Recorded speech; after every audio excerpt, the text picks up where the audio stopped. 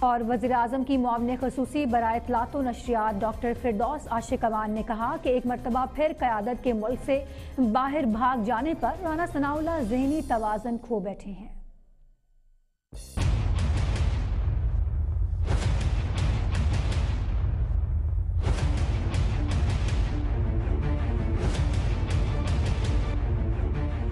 فردوس عاشق قوان نے کہا کہ رانا صاحب فرماتے ہیں کہ میاں صاحب اگر اسپتال سے گھر جا سکتے ہیں تو ریستوران بھی جا سکتے ہیں۔ ان کا مطلب ہے کہ میاں صاحب تندرست ہیں اور ریستوران سے سیدھا جیل بھی جا سکتے ہیں۔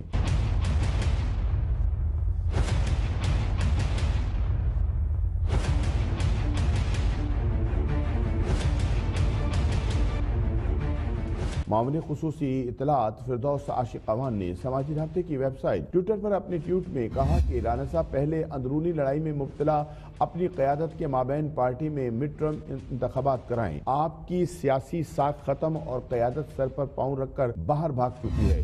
جس مقدمے میں آپ کو ضمانت ملی ہے، اس کا ٹرائل ابھی باقی ہے، اس پر توجہ دیں۔